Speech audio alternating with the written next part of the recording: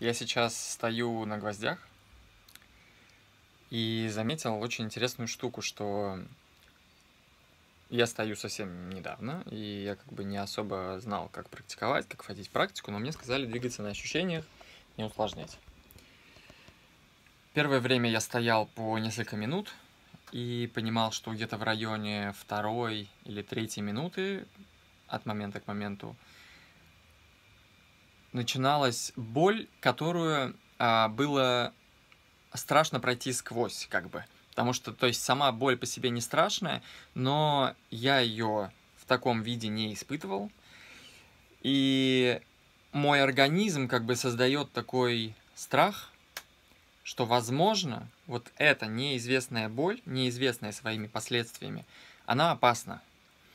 И я как бы э, с гвоздей, и в один момент, вот вчера или поз, вчера, позавчера, позавчера, я встал и решил посмотреть, что будет, если вот пойти туда, в боль, как, например, мы это делаем на випассане, на практике. То есть мы наблюдаем ощущение таким, какое оно есть, тем самым э, разотождествляя себя с тем, что мы наблюдаем, не вовлекаясь в процесс, который мы наблюдаем. То есть оставаясь просто наблюдателями происходящего.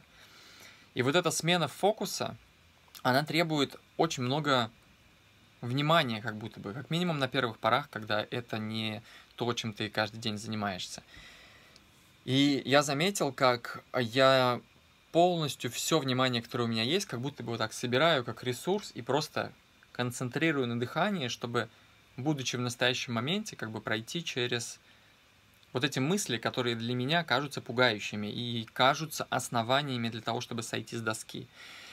Чтобы понимать, да, это метафора поведения не только на гвоздях, это метафора поведения в целом в ситуациях, когда мы начинаем отступать, тогда, когда нам становится либо страшно что-то, либо мы не знаем, чем это может закончиться. Вот это очень мощная иллюзия того, что страх, который возник, является основанием для того, чтобы не делать что-то. Вот это то же самое.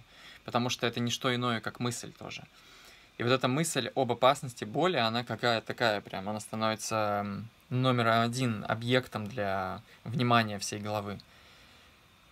И когда я сфокусировал на дыхании, вот через э, дыхание, чтобы пройти через это состояние и посмотреть просто на это как на ощущение, которое, я надеюсь, не опасно. Просто типа я допустил, что возможно это не опасно, и мне можно посмотреть.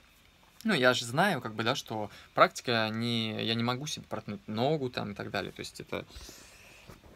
Там целый ряд этих гвоздей. Я, да, я все еще стою. там этих гвоздей целые ряды, поэтому, как бы, в целом это не то, чтобы прям у меня там кровь сейчас пойдет. Не опасно, я знаю это. Но, тем не менее, эм... вообще, в первый раз я встал, около 30 минут постоял и удивился, что, о, нифига себе, оказывается, здесь есть некий барьер, который, когда ты проходишь, становится как будто бы, то есть ты проходишь какой-то рубеж, после которого ты прошел проверку, и теперь тебе открывается, что на самом деле за вот этим вот тем, что ты думал опасно, есть некое поле, которое ощущается иначе, то есть некое, некое поле новых ощущений. Ощущения, которые у меня сейчас, то есть я сейчас стою где-то уже 20, ну, около 30 минуты, Ощущения сейчас а, очень отличаются от тех, которые на первой фазе, когда ты только встаешь, и на вот этом вот рубеже, которым ты переходишь. Потому что там ощущения накаляются, и ты понимаешь, что тебе очень больно. И ты начинаешь исследовать вообще, что такое боль, что именно ты называешь, когда ты, ты говоришь «мне больно», что именно, чем оно является по своей сути, без называния, и ты начинаешь просто исследовать и разотождествляться с этим. И вот этот момент мне, мне очень понравился, что я его пробил, прошел и такой, о, интересно, теперь у меня есть опыт, и мне интересно, все такие, или это был первый такой, а дальше вообще не больно. И в итоге я сейчас встал второй раз потом, потом еще третий раз встал, вот сейчас третий раз стою, уже больше 30 минут получается. И был, было два раза по э, 30 и 15, по-моему. И я понимаю, что каждый раз так же, но из-за того, что сейчас понятны фазы, как я рассказываю в курсе погружения в страх, а, система работы, да, взаимодействия со страхом, это понимание карты. карты процессов и механики, которые происходят в каждый отдельный момент, и когда ты понимаешь, ты начинаешь распознавать то, что происходит, и перестаешь быть настолько сильно во власти этого. То есть оно не может контролировать тебя или определять то, как ты будешь себя вести, или что ты будешь делать или не делать. Здесь вот то же самое. И я вообще о чем хотел сказать, что как я проходил через эти вещи, всегда было опорой на дыхание. То есть я всегда смотрел, просто как бы сопровождал взглядом, внутренним взглядом, вниманием дыхание, как оно входит, как оно выходит, потому что это позволяло мне как бы собрать все свое внимание для того, чтобы просто реально пронаблюдать и не отождествляться, потому что мне требуется на данном этапе как минимум точно это. И я подумал, что такая практика, когда ты ее так время от времени делаешь, так, я буду садиться. Ой-ой-ой. Когда ты делаешь ее постепенно и э, регулярно, точнее, ты не просто стоишь как бы на гвозди, но это не только про гвозди, но вот как минимум с гвоздями, да, ты не просто стоишь на гвоздях, ты в этот момент там, а, можно сказать, тренируешь э, определенные способы восприятия, которые ты хочешь себе привидеть, да, в, каких ты хочешь попробовать э, повоспринимать и посмотреть, что будет. И вот это, это как бы Сейчас, секундочку. Это очень прикольно ощущается. Когда они выходят из кожи. А, вот да. На удивление, я сейчас простоял больше получаса, и ноги все равно не дрявые. То есть очень глубокие дырищи. Они сейчас будут с очень интересными ощущениями выпячиваться назад. Но нет ни крови, ничего такого. И что я хотел сказать? Дыхание. Вот, что такие практики, поскольку есть постоянно этот рубеж, через который нужно пройти через концентрацию внимания, через дыхание, ты обращаешь свое внимание на дыхание. И чем больше такой практики, тем больше у тебя появляется вот это, чем сильнее становится эта привычка постоянно обращать внимание на дыхание. А дыхание — это якорь, который можно использовать для того, чтобы якорить себя в настоящем моменте. То есть у тебя либо часть внимания просто постоянно в теле, что бы ты ни делал. Ты можешь посуду, но ты осознаешь руки, осознаешь ноги, осознаешь движение, осознаешь ощущения, которые происходят. То есть ты находишься в самом движении, которое ты осуществляешь. И чем больше такого, тем больше, собственно, осознанности в жизни, тем богаче опыт, потому что когда ты направляешь все свое внимание в тело, ты начинаешь осознавать, что твоя, твое богатство — это ощущение, это, это опыт тела, который ты проживаешь в каждый отдельный момент, но не во всей своей полноте, потому что огромная часть внимания находится в голове, в мыслях, в планах, беспокойствах, каких-то страхах. И тут ты меняешь, как бы, ты забираешь оттуда часть внимания, направляешь ее в тело и начинаешь понимать, как много опыта, то, что ежем, которое происходит каждое мгновение в теле, самого опыта проживания тела, короче. Ты упускал, какой объем. А там много чего-то интересного происходит, приятно, и просто приятно быть. И я подумал, что такая практика, я все опять к этому и веду, что такая практика, она тренирует возвращать внимание в настоящее, в котором ты способен проживать себя. И я подумал, что меня в данном контексте заставило обратить внимание на дыхание боль. И я подумал, что, скорее всего, боль и проблемы, которые которые у нас есть, они у всех есть, они у всех всегда будут, тоже нужно понимать, и просто нужно понять, что не будет момента, когда не будет проблем. Проблемы будут всегда. Задача не избавиться от проблем, а либо сделать себя любящим проблемы, потому что можно увидеть проблемы как нечто, что способствует твоему развитию, оно тебе бросает вызов. И, как правило, вызов всегда соответствует уровню скрытой силы, которая нуждается в том, чтобы быть пробужденной посредством этой проблемы. То есть нам никогда не выкидывается проблема, которую мы не можем решить. Просто в нас спит сила, которой мы никогда не пользовались, потому что мы никогда не сталкивались с этими ситуациями, которая просыпается только тогда, когда мы с этими ситуациями сталкиваемся.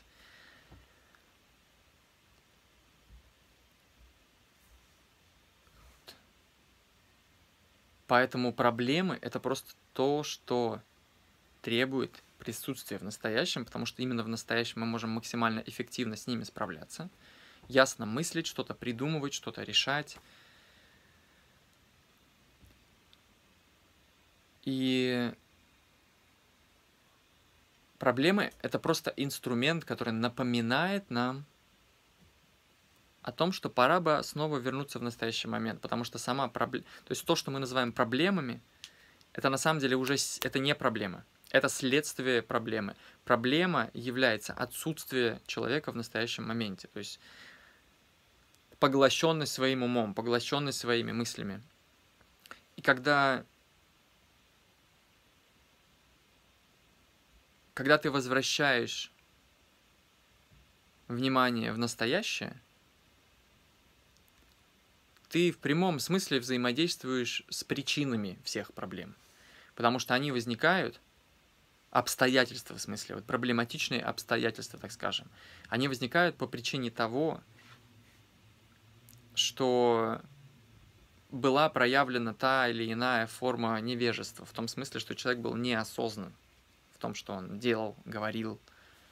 Там не было присутствия, там было сделано что-то на эмоциях, из мыслей, из желания, из корысти, зависти, лести, страха, злости, формы невежества, то есть формы отсутствия в настоящем. Либо что-то где-то... За... То есть все это всегда про отсутствие в настоящем. Отсутствие в настоящем говорит, что вместо тебя в моменте может действовать эмоция, а не ты, потому что ты отсутствуешь. Ты целиком поглощен ею и проживаешь как бы эмоцию как самого себя – не можешь отделить от, того, от себя от того, что ты проживаешь. И вот я подумал, что внимание э, к проблеме это что-то, что просто возвращает нас к тому, чтобы мы не то чтобы лечили проблему, а вспоминали о том, как необходимо жить, делать что-то, чтобы они не создавались. То есть профилактика.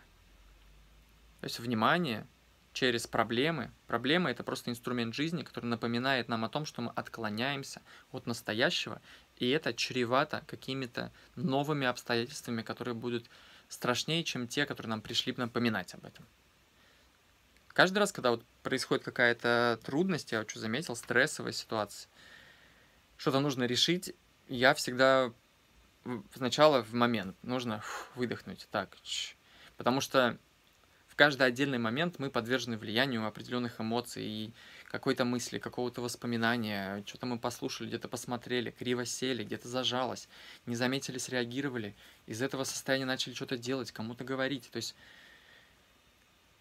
и там все как домино такое, оно одно на другое, на другое, на третье, мы просто катимся, как бы, как вот это вот такая инерция. Ничего страшного в том, что это есть, если ты присутствуешь в этом просто как наблюдатель, и это потому что это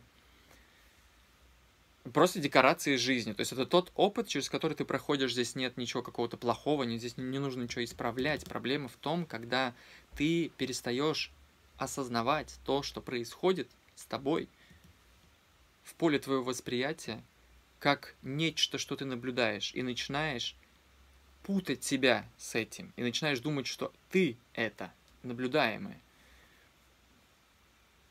И вот здесь все проблемы. Проблемы, в смысле, то, что мы называем проблемами. Но на самом деле это не проблемы. Это просто сигнал. Точно так же, как боль в теле, это не проблема, от которой нужно избавляться, как многие думают. Боль в теле – это сигнал о том, что где-то есть проблема, которая говорит о себе – потому что мы на тонких уровнях тела вообще не чувствуем, а оно нам всегда сигнализирует о том, что плохо ему, хорошо, что ему нужно и так далее. И если мы вот не слышим этого, потому что мы слишком увлечены, чего там голова говорит, то оно кричит один раз, не слышно, кричит второй раз, не слышно, кричит третий раз, не слышно, то есть громче, громче, громче. И оно, тело как бы настолько мудрое, что оно вынуждает, оно вынуждено, точнее, обстоятельствами нашей глухоты к нему, создать нечто, что обратит наше внимание без нашей возможности этому устоять. Типа, а, ничего страшного там. Нет, прям, ай, заболела, что-то заболело. Или, ай, что-то заболело. Или, ой, голова начала болеть. То есть это что-то, что возвращает в настоящее, где ты начинаешь не излечивание вот этих вот последствий, которые обычно люди называют проблемами, а устраняешь корень, ты как бы выкорчевываешь корень этой проблемы.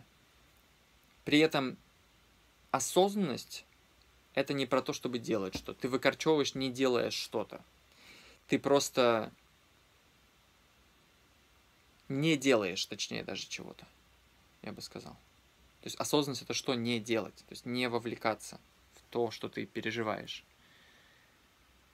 И дыхание обращенная на проблему, то есть проблема, которая возвращает человека в настоящее через дыхание, это просто такие сигналы.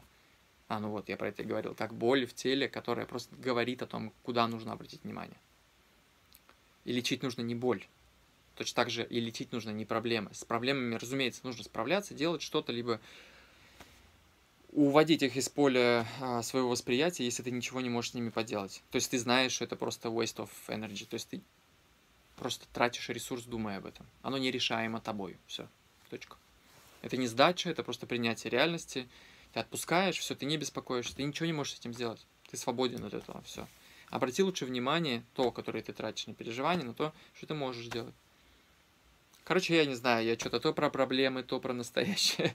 Надеюсь, тебе было это полезно. А, мне, как минимум, было это полезно проговорить.